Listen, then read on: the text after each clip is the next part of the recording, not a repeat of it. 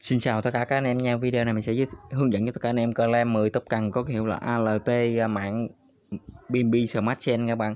Thì để được Clam con top cần này thì các bạn phải ờ, copy smart con chắc của nó các bạn.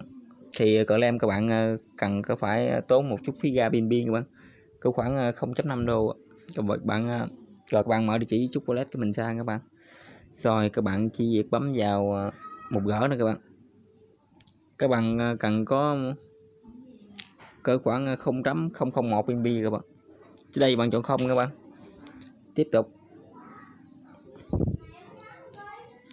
Đây thì ờ, mình tốn khoảng ờ, 0.0012 BNB các bạn. Có khoảng 0,37 đô rồi bạn chỉ bấm gỡ thôi các bạn.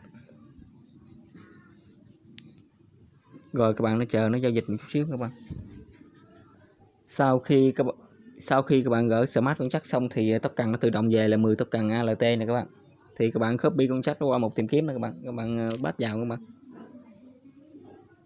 mình thấy ờ, trên trang ờ, BC Scan cũng có khá là nhiều người thu con này đó các bạn.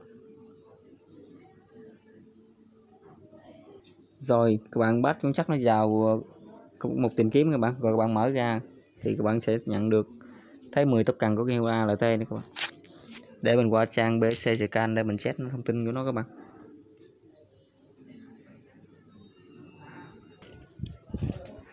Rồi, các bạn bắt con sắt nó vào.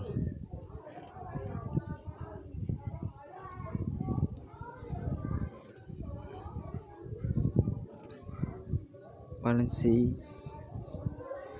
trên trang EC Scan này các bạn cũng khá là nhiều người claim này các bạn.